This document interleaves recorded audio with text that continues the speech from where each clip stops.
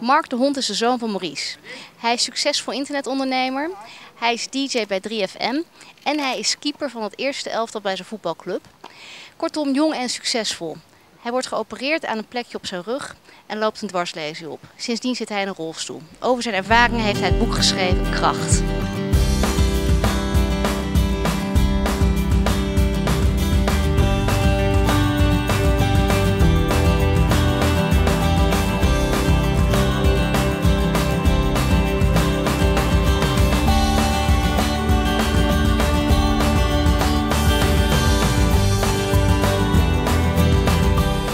Het tennissen?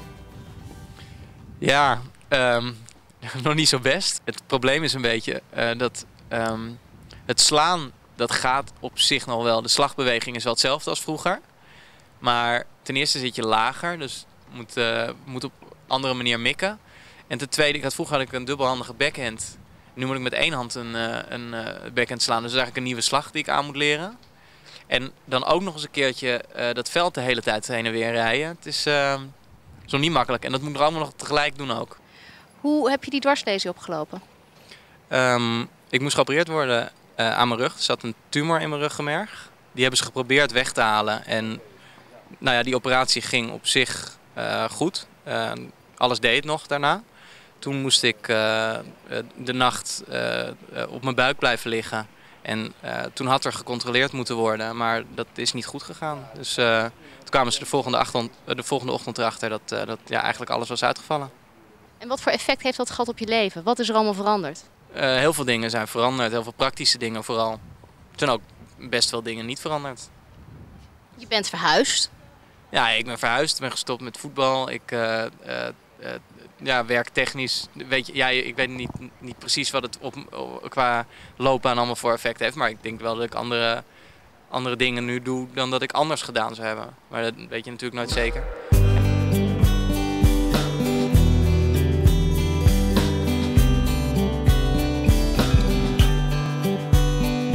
Wat is nu je ambitie?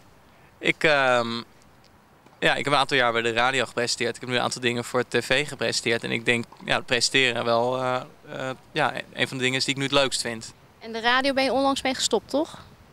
Ja, ik kwam bij een zender terecht waar ik het niet zo naar mijn zin had. En toen ben ik daar even mee gestopt. En daardoor heb ik nu een jaar de tijd gehad om me op mijn boek te richten. En op het tv-programma wat over twee maanden eh, op tv gaat komen.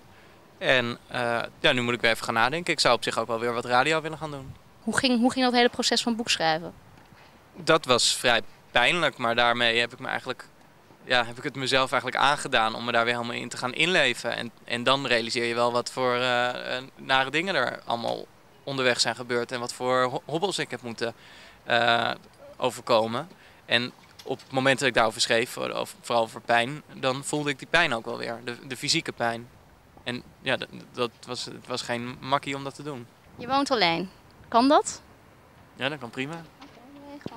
Je zit in een rolstoel, ik weet het niet. Of dat, eh, want je rijdt ook auto. Ja, ik ben heel erg handig.